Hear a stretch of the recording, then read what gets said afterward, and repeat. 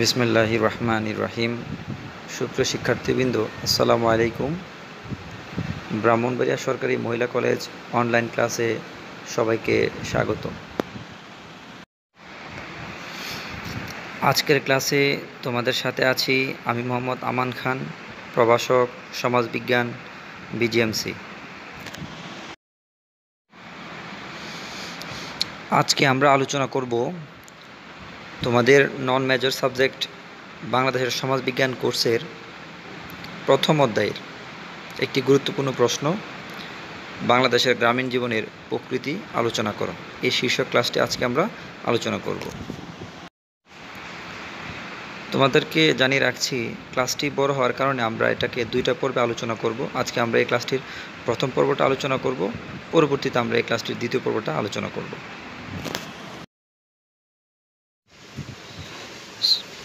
শিক্ষার্থীরা, যেহেতু আমরা গ্রামীণ প্রকৃতি নিয়ে আলোচনা করব, তো বাংলাদেশ একটি কৃষি নির্ভর দেশ, আমরা প্রথমে দেখতে পাচ্ছি কৃষি নির্ভরতা। বাংলাদেশের শতকরা আশি ভাগের অধিক মানুষ গ্রামে বাস করে, এটা আমরা জানি। তাদের প্রধান জীবিকা হচ্ছে কৃষিকাজ নিজের এবং অন্যের খামারে। আমরা জানি আমাদের যারা কৃষক আছেন, তারা তাদের প্রধান যে জীবিকা অর্জনের পথ হচ্ছে কি কৃষিকাজ মানে কৃষি জমিতে জমিতে কাজ করা। তারা হতে পারে নিজের জমিতে কাজ করে কিংবা অন্যের জমিতে কাজ করে জীবিকা নির্বাহ করে। ভূমিহীনরা শ্রম বিক্রি করে কৃষি ও অকৃষি খাতে, যারা ভূমিহীন আছে, তারা তাদের শ্রম তারা বিক্রি করে মানে তারা অন্য জমিতে কাজ করে বিনিময়ে তারা টাকা পায়, যেটাকে শ্রম বিক্রয় বলা হয়। গ্রামবাসীর আয় কম এবং জীবনমান অতি সাধারণ। যেহেতু গ্রামে ওই ধরনের কোনো শিল্প কারখানা নেই, শুধু মানে কৃষি জমি জমা, এই ক্ষেত্রে এখানে গ্রামবাসীর আয়টা অনেকটি কম, তারা সাধারণ জীবনযাপন করে থাকে। এখানে তিপ্পান্ন দশমিক এক শূন্য ভাগ মানুষ দারিদ্র সীমার নিচে বাস করে। এটা দু হাজার চার সালে যদিও বর্তমানে, আজকে দু হাজার একুশ সালে এখন দারিদ্র সীমার নিচে বিশ দশমিক পাঁচ পার্সেন্ট মানুষ দারিদ্র সীমার নিচে বাস করে এবং চরম দারিদ্র যেটা হচ্ছে কি দশ দশমিক পাঁচ। আর শুধু দারিদ্র সীমার নিচে বসবাস করে বিশ দশমিক পাঁচ পার্সেন্ট মানুষ। অনেকেই অশিক্ষিত এবং সারা বছরই অধিক আর্থিক অনটনে ভোগে। কারণ যেহেতু গ্রামের মানুষ, অনেক মানুষই অশিক্ষিত। যদিও এখন এই প্রেক্ষাপটটা ভিন্ন রকম, গ্রামে এখন শিক্ষার হার বেড়ে গেছে। তারপরেও শহরের তুলনায় গ্রামের মানুষ শিক্ষার হার অনেক কম। তাই দেখা যায় ম্যাক্সিমাম সময় তারা বিভিন্ন অভাব অনটনে ভুগে থাকেন। তারা আধুনিক শিক্ষা ও স্বাস্থ্য সেবা থেকে বঞ্চিত। গ্রামের মানুষ, শহরের মানুষের তুলনায় তা দেখা যায় যে আধুনিক শিক্ষা বা স্বাস্থ্যসেবা থেকে অনেকটি পিছিয়ে আছে দুই দুই নম্বর পরিবার কাঠামো, বাংলাদেশের গ্রামে এখনও যৌথ পরিবার পরিলক্ষিত হয় এবং সুদৃঢ় পারিবারিক বন্ধন গ্রামীণ মানুষের জীবনের বিশেষ বৈশিষ্ট্য দান করে। আমরা এখনও যদি গ্রামের দিকে তাকাই, দেখা যাবে একটি পরিবারে একাধিক পুরুষ বা তিন পুরুষের পরিবার। দেখা যায় দাদা, দাদার অন্যান্য ছেলেরা, বাবা সবাই কিনে একাধিক পুরুষের পরিবার কিনে যে পরিবারটা গঠিত হয়, একাধিক পুরুষকে নিয়ে, এই পরিবারটাকে আমরা যৌথ পরিবার বলে থাকি। কৃষিভিত্তিক গ্রামীণ অর্থব্যবস্থায় ভূমির মালিকানা পারিবারিক আইনে নির্ধারিত হয়। যদি কৃষিভিত্তিক যে পারিবারিক জমির মালিকানাটা, এটা কৃষিভিত্তিক পারিবারিক আইনে নির্ধারিত হয়। ধরো, তোমার বাবার পঞ্চাশ শতাংশ জমি আছে, তোমরা পাঁচ ভাই বা পাঁচ বোন, তোমরা দেখা যায় পাঁচজন তোমাদের যে পরিমাণ প্রাপ্য সমান হারে তোমরা পেয়ে থাকবে। কৃষিকাজ পারিবারিক শ্রমের মাধ্যমে পরিচালিত হয়। আমাদের গ্রামের যে কৃষিকাজ ম্যাক্সিমাম কাজটি পারিবারিক শ্রমের মাধ্যমে, পরিবারের যে সদস্যরা তারই কৃষি খেতে তারা জমিতে কাজ করে থাকেন। তবে ক্রমবর্ধমান গ্রামীণ দারিদ্রের কারণে কর্মসূত্রে শহরে চলে আসার কারণে গ্রামীণ যৌথ পরিবার ভাঙন ধরেছে। দেখা যায়, ক্রমবর্ধমান যে গ্রামীণ দারিদ্রতা, গ্রামে দেখা যায় একটা একটা জমিতে একটা পরিবারে যদিও একাধিক চার পাঁচজন পুরুষ থাকেন, তারা একটা জমিতে কাজ করলে ওই জমি থেকে চার পাঁচজনের যে চাহিদাটা, এটা মেটানো সম্ভব নয়। কিন্তু দেখা যায় যদি তারা অন্য থেকে অন্য জায়গায় কোনো চাকরি করেন, ব্যবসা করেন, দেখা যায়, তাহলে দেখা যাবে পরিবারের বা তাদের যে চাহিদাটা বা পারিবারিক চাহিদাটা, তারা তারা অনেকটি মেটাতে পারবে। এ কারণে দেখা যায় যে তারা শহরের দিকে চলে আসছে, শহরমুখ হয়ে যাচ্ছে। ফলে দেখা যায় যে যৌথ পরিবারটা ভেঙে এটা ক্ষুদ্র পরিবার বা অনুপরিবারে রূপান্তরিত হয়ে যাচ্ছে। এখানে তিন নম্বর আছে জনসংখ্যা।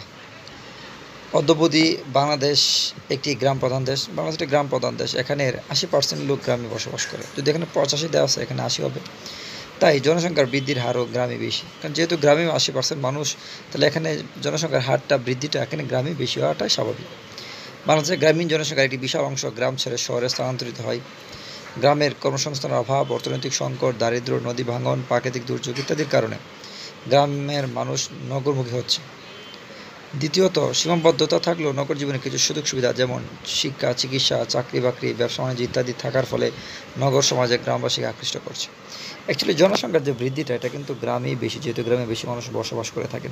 তবে বর্তমান প্রেক্ষাপটে দেখা যায় যে মানুষ বিভিন্ন কারণে এখন শহরমুখী হচ্ছে, শহরের দিকে চলে আসছে। তবে জনসংখ্যাটা শহর থেকে গ্রামে জন, জনসংখ্যার হারটা খুব বেশি পরিমাণে। চার নম্বর, ধর্মীয় মূল্যবোধ। বাংলাদেশের সমাজে ধর্মীয় মূল্যবোধ অত্যন্ত গুরুত্বপূর্ণ স্থান অধিকার করে আছে। গ্রামীণ সমাজের গুরুত্ব ভূমিকা আরও বেশি। কারণ দেখা যায়, শহরের মানুষের তুলনায় গ্রামের মানুষগুলো দেখা যায় ধর্মকর্ম একটু বেশি পালন করে থাকে।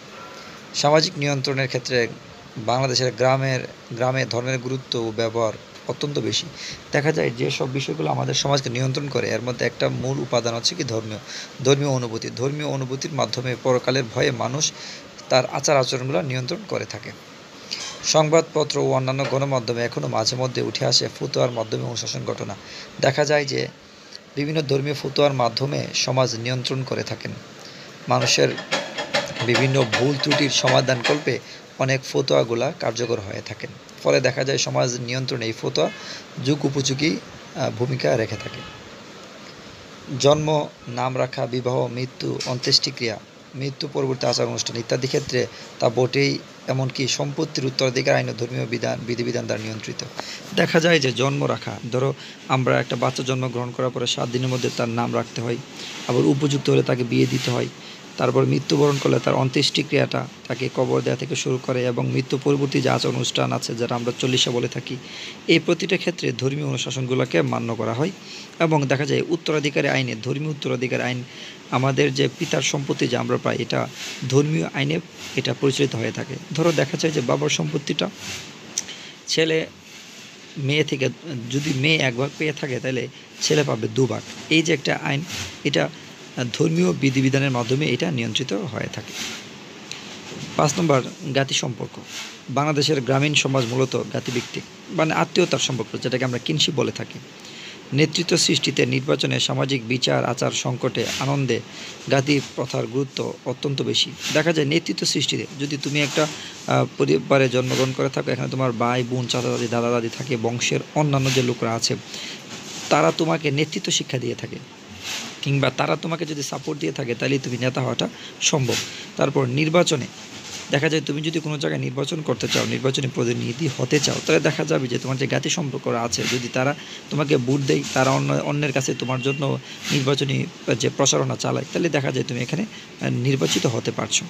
সামাজিক বিচার, আচার, সংকটে দেখা যায় আমাদের যখন সামাজিক কোনো ভুল হয়, কোনো অপরাধ হয়ে থাকে, সামাজিক বিচার, আচারও আমরা দেখা যায় আমাদের যে জ্ঞাতি সম্পর্ক, আমাদের যে আত্মীয়তার সম্পর্ক ধরো আমি কোনো ভুল করলাম, আমার এই ভুল শুধরানোর জন্য আমার চাচা, আমার চাচতো ভাই আমার দাদা তারা দেখা যায় কি, এটা ভুল শুধরানোর চেষ্টা করে থাকে কিংবা একটা বিচার কার্য তারা পরিচালনা করে থাকে কিংবা আমার অপরাধের বিচারটা তারা করে থাকে। সংকটে, আনন্দে। দেখা যায় যখন আমরা কোনো সংকটে পড়ি, কোনো ঝামেলায় পড়ি, তখন আমাদের আত্মীয়রাই কিন্তু আমাদেরকে সহযোগিতা করে থাকে। আনন্দে যা আমাদের আনন্দে গাতির প্রথা অত্যন্ত গুরুত্বপূর্ণ। দেখা যায় অত্যন্ত বেশি। দেখা যায় তোমার কোনো একটা অনুষ্ঠান, কোনো বিয়ে এই অনুষ্ঠানগুলোতে দেখা যায় আমরা কিন্তু আমাদের আত্মীয়দেরকে আমরা দাওয়াত করে থাকি। তাহলে দেখা যায় তাদের একটা একটা এই যে গাতি যে প্রথা, আত্মীয়দেরকে দাওয়াত দিতে হয় কোনো অনুষ্ঠানে, এই যে একটা প্রথা, এটা কিন্তু খুব গুরুত্ব।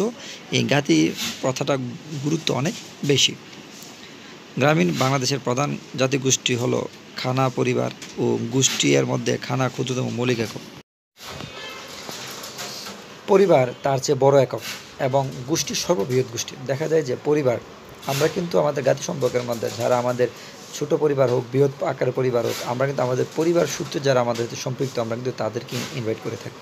তারপরে দেখা যায় আমরা যে গোষ্ঠী, বৃহৎ গোষ্ঠী যারা আছেন গোষ্ঠীরূপ ধরো তোমার যখন কোনো একটা অনুষ্ঠান আমরা করে থাকি, আমরা যে গাতিদেরকে দাওয়াত দিয়ে থাকি, যদি যখন আমাদের অনুষ্ঠানটা একটু বৃহৎ আকার হয়, তখন কিন্তু আমরা গোষ্ঠীর অন্যান্য সদস্যকে আমরা ইনভাইট করে থাকি। এই যে একটা গাতি সম্পর্ক এটা গ্রামের প্রকৃতি, গ্রাম এটা খুব প্রখর আকারে লক্ষ্য করা যায়। গ্রামবাসীরা এক বৃহৎ গাতি সম্পর্কের জালের মধ্যে বাস করে। গ্রামবাসীরা এক বৃহৎ গাতি সম্পর্কের জালের মধ্যে বাস করে। কারণ দেখা যায় গ্রামের যে বসবাসকারী যে লোকগুলো আছে, যা তারা কোনো না কোনোভাবে আমাদের কোনো একটা আত্মীয় হয়ে থাকে। দেখা যায় আমরা বিভিন্ন অনুষ্ঠানে তাদেরকে দাওয়াত করে থাকি। ফলে বলা হয় যে আমরা যে গ্রামবাসীরা আছে, একটা বৃহৎ গাতি সম্পর্কের মধ্যে আমরা বসবাস করে থাকি। ছয় নম্বর, পর্দা প্রথা। গ্রামের মানুষের মধ্যে ইসলাম ধর্মীয় মূল্যবোধ গভীর প্রভাব বিস্তার করে আছে, তাই পর্দা প্রথা কঠোরভাবে মেনে চলা হয়। তবে দরিদ্র যেসব মহিলা কাজ করার জন্য ঘরের বাইরে আসতে হচ্ছে, তাদের মধ্যে পর্দা প্রথা দেখতে পাওয়া যায় না। গ্রামের বৈশিষ্ট্যের মধ্যে একটা আছে কি, পর্দা প্রথা। কারণ গ্রামের মুসলিম পরিবারগুলো এখনও নারীরা পর্দা করে থাকেন। তারা যে কোনো পুরুষের সামনে, পর পুরুষের সামনে তারা যান না। তারা পর্দা পালন করে থাকেন কিংবা তারা বুকরা পরিধান করে থাকেন, যেভাবে তাদের পর্দা রক্ষা হয়। তবে কিছু মহিলারা আছে, যারা দরিদ্র মহিলা, যারা তারা তাদের নিত্য প্রয়োজনীয় চাহিদা মেটানোর জন্য যারা কাজ করে, বাইরে কাজ করে, এই তারা কিছু ব্যক্তি আছে বা কিছু মহিলারা আছেন যারা পর্দা করেন না। কারণ দেখা যায় অনেক মহিলারা আছেন মাটি কাটেন তাদের তো সেরকমভাবে পর্দা করা তাদের পক্ষে সম্ভব হয় না। ফলে তারা তাদের মধ্যে কিছু পর্দা না মানার, না মানা লক্ষ্য করা যায়। এছাড়া ম্যাক্সিমাম ক্ষেত্রেই গ্রামের নারীরা পর্দা করে থাকে। সপ্তম প্রকৃতি হচ্ছে পুষ্য পোষক সম্পর্ক। গ্রামের মানুষের ভূমি সর্বপ্রধান উৎপাদনের উপকরণ, যা অসময়ে বণ্টিত। গ্রামের সবার এখানে ভূমি নেই। অনেকের মুষ্টিমেয় ভূস্বামীর হাতে বেশিরভাগ জমি বন্দি। দেখা যায় এখানে কিছু লোকের হাতেই অনেক জমি বন্দি, কিছু লোকেরই অনেক জমি। আবার দেখা যায় কি, আবার কিছু লোক আছেন অল্প পরিমাণ জমি, আবার অনেক লোক আছেন যাদের একদম জমি নেই। এছাড়া এখনও ঐতিহ্যবাহী কর্তৃত্ব ব্যবস্থায় কার্যকর এবং সাধারণত ক্ষুদ্র কৃষক বা ভূমিহীন কৃষক টিকে থাকার জন্য পুষে পরিণত হয়। দেখা যায় এখনও ঐতিহ্যবাহী কর্তৃত্ব এখানে বিদ্যমান। দেখা যায় যাদের জমি আছে, যাদের অনেক জমি আছে গ্রামে, তারা তাদের প্র- প্রভাব প্রতিপত্তি বেশি। তারা গ্রামের যাদের জমি নেই, তাদের উপর প্রভাব খাটিয়ে থাকেন। সাধারণ ক্ষুদ্র কৃষক বা ভূমিহীন কৃষক টিকে থাকার জন্য পুষ্য পরিণত হয়। দেখা যায় যারা সাধারণ কৃষক আছেন, তারা তাদের জীবিকা নির্বাহের জন্য তারা এই ভূমির মালিকদের কাছ থেকে জমি ইজারা নিয়ে থাকেন, বর্গা নিয়ে থাকেন বা বাগি নিয়ে থাকেন। নিয়ে তারা তাদের জীবন পরিচালিত করে থাকেন। এই যে তারা তাদের জমি বর্গা চাষ করে থাকেন, ফলে তারা এই মুষ্টিমী শ্রেণির কাছে তারা পুষ্যে পরিণত হয়। তাদেরকে মুষ্টিমী শ্রেণি তাদেরকে পুষেন। আর ধনী ক্ষমতা ক্ষমতায় ব্যক্তি হচ্ছে পুষক। যে পুষে তাকে বলে পুষক। মানে যে যে পুষে রাখে, তাকে আমরা বলে থাকি পুষক। এখানে ক্ষমতাশালী ব্যক্তি হচ্ছে পুষক। আর ক্ষমতাহীন ব্যক্তি যাদের জমি নেই, তারা হচ্ছে কি? পুষ্য অষ্টম শিক্ষা। বাংলাদেশের শিক্ষার হার বৃদ্ধি পেলেও তুলনামূলকভাবে কম। গ্রামীণ মহিলাদের মধ্যে এ হার আরও কম। গ্রামের সরকারি প্রাথমিক বিদ্যালয়ে বিদ্যালয়কে কেন্দ্র করে এর কার্যক্রমটি পরিচালিত হয়। গ্রামের শিক্ষা ক্ষেত্রে মানগত দিক থেকে পিছিয়ে আছে ফলে উচ্চশিক্ষা অর্জন ও চাকরি পাওয়ার ক্ষেত্রে গ্রামের জনগণ পিছিয়ে আছে। দেখা যায় গ্রামের শিক্ষার হার শহর থেকে অনেকটাই কম, অনেকটাই পিছিয়ে। গ্রামের যে শিক্ষার বিস্তারটা দেখা যায় প্রাথমিক লেভেল পর্যন্তই। ফলে দেখা যায় ওই গ্রামের মানুষগুলো চাকরির ক্ষেত্র সেই বা সেই মাপের চাকরি পায় না। শহরে যারা আছেন, যারা উচ্চশিক্ষা লাভ করে থাকেন, শহরে সুযোগ সুবিধা লাভ করে থাকেন, তারাই চাকরির ক্ষেত্রে দেখা যায় তারাই বেশি চাকরি পায়। গ্রামের মানুষটা মানুষগুলো অনেকটাই পিছিয়ে পড়েন। স্বাস্থ্যসেবা। গ্রামের মানুষের স্বাস্থ্যসেবা চরমভাবে উপেক্ষিত। সরকারি হাসপাতাল যাওয়া আছে, কিন্তু জনসংখ্যার অনুপাতে সুযোগ সুবিধা অপ্রতুল। গ্রামের যে সরকারি হসপিটালগুলো আছে ক্লিনিকগুলো আছে, যাই আছে না কেন দেখা যায় জনগণের অনুপাতে অনেকটাই কম। বেসরকারিভাবে পরিচালিত, বাণিজ্যিক উদ্দেশ্যে পরিচালিত স্বাস্থ্যকেন্দ্রগুলো অপচিকিৎসার শিকার হয় রোগী। দেখা যায় গ্রাম অঞ্চলে যে মানে বাণিজ্যিকভাবে যে হসপিটালগুলো গড়ে উঠেছে, তারা ওই গ্রামের সচ্ছল মানুষগুলো ওই হসপিটালগুলোতে ভর্তি হয় ফলে দেখা যায় তারা অপচিকিৎসা লাভ করে থাকে শিক্ষার অভাবে স্বাস্থ্য ও পুষ্টিজ্ঞানের নিতান্ত অভাব রয়েছে গ্রামের জনসাধারণের মধ্যে। কারণ গ্রামের জনসাধারণের শহরের তুলনায় শিক্ষার হার কম। বিধায় তারা স্বাস্থ্য এবং পুষ্টি, পুষ্টিজ্ঞানটা তাদের মধ্যে অনেকটি কম। কারণ তারা স্বাস্থ্যের সম্পর্কে সেই রকম জ্ঞান তারা জানে না বা জ্ঞান লাভ করে না। জন্মের হার যেমন উচ্চ, মৃত্যুর হার তেমন উচ্চ। দেখা যায় গ্রামে যেরকম জন্ম হার বেশি মৃত্যু হারও বেশি। কারণ সঠিক চিকিৎসার অভাবে অনেক মানুষই খুব মারা যায়। খাদ্যভাব অপুষ্টি, বাল্যবিবাহ, কুসংস্কার, পরিবার পরিকল্পনা, কার্যক্রমে অনিয়া ইত্যাদি গ্রাম, গ্রামের স্বাস্থ্যগত অবস্থাকে করে তুলেছে আরও নাজুক। দেখা যায় খাদ্যাভাব অপুষ্টি কারণ গ্রামের মানুষগুলো পুষ্টিকর, অপুষ্টিকর খাদ্য সম্পর্কে তারা জ্ঞান রাখে না। তো বাল্যবিবাহ, গ্রামে অনেক বাল্যবিবাহ লক্ষ্য করা যায়, অল্প বেশি ছেলে মেয়েদের মধ্যে বিবাহ হয়ে থাকে। কুসংস্কার, কারণ গ্রামে এখনও অনেক কুসংস্কার বিদ্যমান আছে। পরিবার পরিকল্পনা, যেটা পরিবার নিয়ন্ত্রণ করার জন্য যে পরিবার পরিকল্পনার যে পদ্ধতিটা আছে বর্তমান আমাদের দেশে। এটা গ্রামের মানুষগুলো অনেকেই এটা কম মেনে থাকে। ফলে দেখা যায় গ্রামের অবস্থাটা অনেক নাজুক আকার ধারণ করে। দশম, যোগাযোগ পরিবহন ব্যবস্থা। উন্নত যোগাযোগ পরিবহন ব্যবস্থা টেকসই উন্নয়নের পূর্ব শর্ত। টেকসই উন্নয়ন বলতে আমরা বুঝি যে উন্নয়নটা স্থায়ী হয়। এটাকে টেকসই উন্নয়ন উন্নয়ন বলে থাকে? তাহলে দেখা যায় যে আমাদের টেকসই উন্নয়নের একটা শর্তের মধ্যে হচ্ছে কি উন্নত যোগাযোগ পরিবহন ব্যবস্থা। উন্নয়ন প্রচেষ্টা যেহেতু চলমান, তাই যোগাযোগ ও যাতায়াত ব্যবস্থা গড়ে উঠেছে। যেহেতু উন্নয়ন ব্যবস্থাটা বর্তমানে চল- চলমান, দিনের পর দিন মানুষ উন্নয়ন করছে। এর ফলে দেখা যায় যোগাযোগ যাতায়াত ব্যবস্থা গড়ে উঠছে। তবে যতটা উন্নয়ন এক্ষেত্রে এতদিনে গড়ে ওঠা উচিত ছিল ছিল তা হয়নি। তবে এই উন্নয়নের যে ধারা, এতদিনে যে পরিমাণ উন্নয়ন হওয়ার কথা ছিল, এই পরিমাণ উন্নয়ন এখনও হয়নি। এই কারণে আমাদের গ্রাম সমাজ আদৌ পশ্চাৎপদ। সঠিক উন্নয়ন না হওয়ার কারণে এখন আমাদের গ্রাম সমাজটা পশ্চাৎপদ কিংবা পিছিয়ে আছে। এর ফলে গ্রামীণ জীবনের গতিশীলতা বৃদ্ধি পাচ্ছে না এবং গ্রামীণ অর্থনীতি শক্ত ভিত্তির উপর দাঁড়াতে পারছে না। এই যে যোগাযোগ ব্যবস্থা অনুন্নত মানে অনুন্নত হওয়ার কারণে আমাদের গ্রামীণ জীবনের যোগাযোগটা সঠিক হচ্ছে না কিংবা অর্থনীতি শক্ত বৃত্তির উপর দাঁড়াতে পারছে না। কারণ যোগাযোগ ব্যবস্থার কারণে অর্থনীতি এখানে ইনকামটা এখানে যে আয়টা হচ্ছে, এটা শক্ত বৃত্তির উপর দাঁড়াতে পারছে না। সম্প্রতি মোটোফোন ব্যবহার গ্রামীণ জীবনের যোগাযোগ ক্ষেত্রে বিপ্লব সাধিত করেছে। বর্তমানে আমরা মোটোফোনের মাধ্যমে একদম অজপাড়া গ্রামগুলোতে আমরা কি করতে পারছি? যোগাযোগ করতে পারছি। ফলে দেখা যায় গ্রামের কিছুটা উন্নত উন্নয়ন সাধিত হচ্ছে। দেশের অভ্যন্তরে এবং প্রবাসী জন জন এখানে প্রবাসী, দেশের অভ্যন্তরে এবং প্রবাসী স্বজনদের সাথে যোগাযোগ একটি অত্যন্ত গুরুত্বপূর্ণ। দেখা যায় আমরা এই মুঠোফোনের মাধ্যমে দেশের এক জায়গা থেকে অন্য জায়গায় আমরা যোগাযোগ রাখতে পারছি কিংবা আমাদের যে আত্মীয় স্বজনরা প্রবাসে আছেন, তাদের সাথে আমরা যোগাযোগ করতে পারছি। এছাড়া টেলিভিশন, রেডিও, ডাক ব্যবস্থা, সংবাদপত্র, সড়কপথ, বাস, ট্রেন, ট্রাক, রিক্সা, ভ্যান অটোরিক্সা নৌপথে বিভিন্ন নৌযানের মাধ্যমে যোগাযোগ যাতায়াত আগে চাইতে বৃদ্ধি পেয়েছে। এখন আমরা দেখা যায় গ্রামের সাথে যে আমার যে যোগাযোগ ব্যবস্থা আগের থেকে কিছুটা উন্নত হওয়ার কারণে আমরা সহজেই এখন গ্রামের সাথে যোগাযোগটা করতে পারছি। তবে যতটুকু হওয়ার কথা ছিল, প্রেক্ষাপটে ততটুকু হয়নি। শিক্ষার্থীরা, আজকের মতো বিদায় নিচ্ছি। আবারও দেখা হবে অন্য কোনো সময়, অন্য কোনো ক্লাসে। তো আমরা পরবর্তীতে এই ক্লাসটির দ্বিতীয় অংশটুকু আমরা আরও বিস্তারিত আলোচনা করব। আজকের মতো বিদায় নিচ্ছি। আল্লাহ হাফেজ।